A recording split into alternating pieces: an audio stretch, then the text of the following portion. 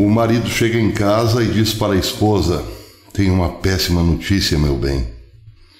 Ganhei na loteria. A esposa, consternada, o abraça e fala: Nós vamos superar isso, juntos vamos superar isso.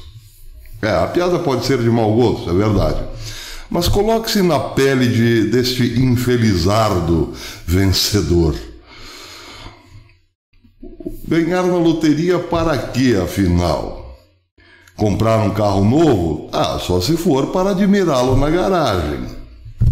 Para fazer um turismo pelo mundo, um tour pelo mundo? Bem, a esposa, podemos imaginar a esposa folheando um catálogo. Amor, olha só que interessante, nós podemos visitar aqui o Louvre incendiado. Hum? Ou então as estátuas que foram derrubadas nos Estados Unidos. Ou então nós podemos visitar o lugar onde existia o Coliseu. que tal? Pois é. Aquilo que parecia uma grande piada, ou que parece ser uma grande piada, pode não ser assim tão engraçado e nem tão fictício.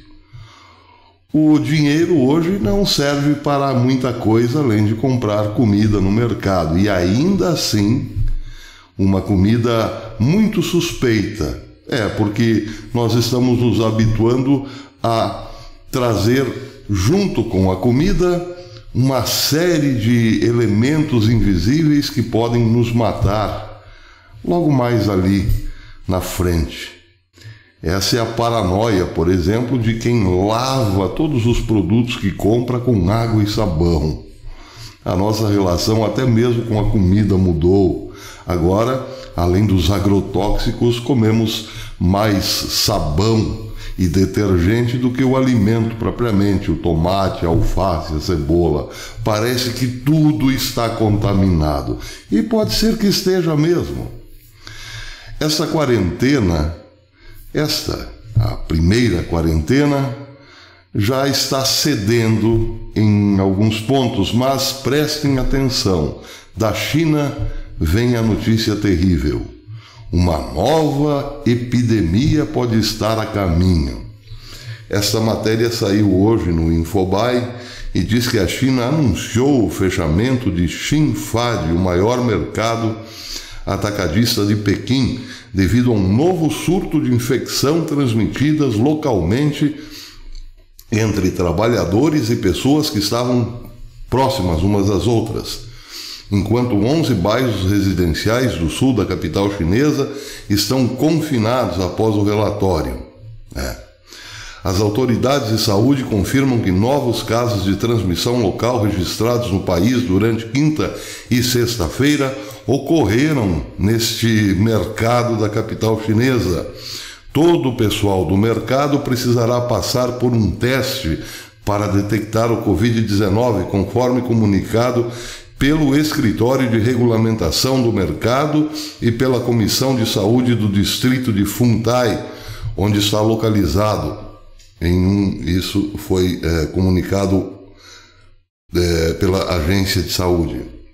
Além disso, disseram que, diz a agência que, para garantir o fornecimento de produtos, serão estabelecidos locais especiais para a venda de vegetais e frutas. O mercado tem uma área de 112 hectares e 1.500 funcionários trabalhando nele. Eu faço questão de é, lembrar da nossa relação com a comida, porque aí também existe uma grande transformação cultural e social. Hoje a nossa relação com a comida mudou. Se a relação com a comida mudou, imaginem o resto. Chegará um momento em que o garotinho perguntará para a mãe: Mãe, o que é aquilo lá? É outro ser humano, filho, não chegue perto. É, porque tem também o tal do distanciamento social que veio para ficar. Mas como haverá um distanciamento social se o controle não pode ser rigorosamente eficiente? Sim, porque um homem pode deitar ao lado de uma mulher, ficar muito próximo, podem até acabar se abraçando e fazendo coisas horríveis. Então precisamos colocar um olho dentro das casas, porque aquele modelo de vida do passado, onde existia um troço chamado casamento, isso hoje é um perigo, é um perigo. Precisamos controlar isso também. Pois é, que absurdo! Parece que entramos realmente num filme de ficção. Mas se vier outra onda, mais uma só, mais uma ondinha de pandemia, tudo isso terá que ser revisto. Casamento, por exemplo, relações sexuais, por exemplo, convivências familiares. De que adianta o Estado controlar o mundo lá fora se dentro das casas nada é respeitado? Precisamos colocar um olho que tudo vê em cada lar. E para isso, temos que conscientizar as pessoas de que o modelo de vida passado não serve mais. Vejam, tem muita gente que interpreta a história bíblica da Torre de Babel como a ambição humana de chegar aos céus. Não tem nada disso, não é essa a questão.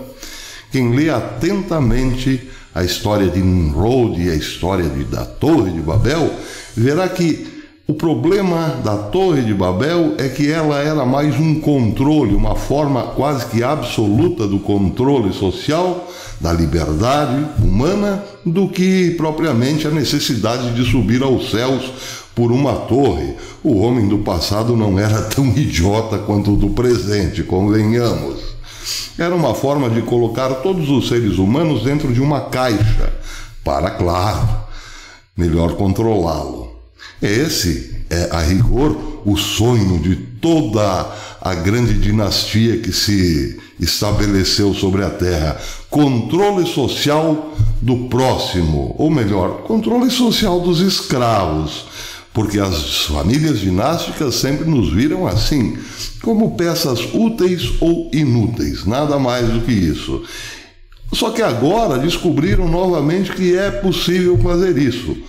Um controle social, desde que exista uma humanidade um pouco menor e muito mais, digamos assim, susceptível ao controle estatal. E isso não é difícil de constatar. Eu, por exemplo, que moro numa cidade pequenina, posso muito bem enxergá-la como um laboratório. Aqui na minha cidadezinha tem mais gente querendo o controle do Estado do que liberdade. É. Muitas dizem o seguinte: prendam aqueles que saem à rua.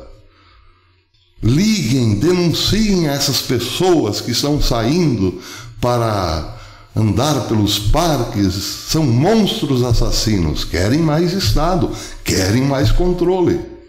Bem, é uma cidadezinha pequena, mas de cidadezinha pequena em cidadezinha pequena temos um padrão. O homem quer um controle absoluto sobre si mesmo. Por quê?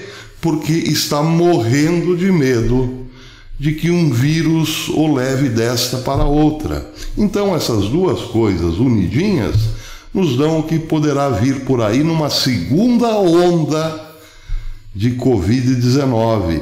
E atenção, notícia de última hora, já estão dizendo por aí que lá nas selvas venezuelanas já existe a detectação de um Covid muito mais agressivo que o 19.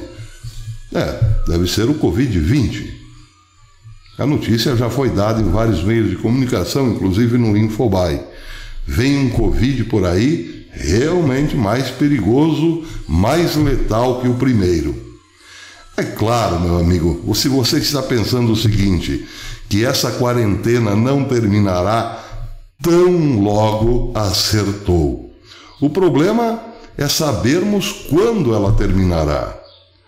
Bem, um dia certamente ela terminará, mas não enquanto todo controle social planejado por alguém ou alguns por aí entrar em prática. Antes disso, não.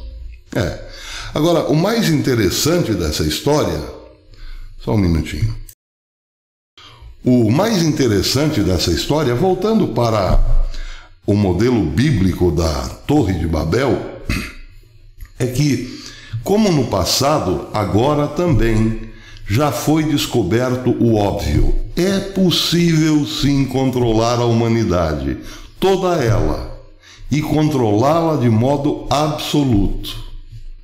É possível, porque tudo o que está acontecendo aí o Antifa, uh, a onda de coronavírus, a repressão policial, enfim, toda a paranoia desenvolvida a partir dos uh, criada pelos meios de comunicação, tudo isso é forma de controle social e está dando certo. E uma vez colocado em prática, tende a não parar mais. Pois é. Bem, voltando para a Torre de Babel. O sistema era tão bem feito que Deus precisou intervir. Só uma ação divina, uma ação sobrenatural, pôs fim àquele projeto. Agora não será diferente. Não pensem que este ou aquele governo conseguirá resolver o problema. Nós chegamos ao fim da era do homem político. Agora, meus amigos, revolução mesmo só do alto, porque tudo que vier daqui, daqui dos nossos queridos políticos, será completamente inútil ou a favor desse controle. Pois é. Pense nisso, porque tem muita gente aí acreditando que o homem poderá trazer de volta a humanidade a uma condição normal. Isso acabou, meu caro. Até depois.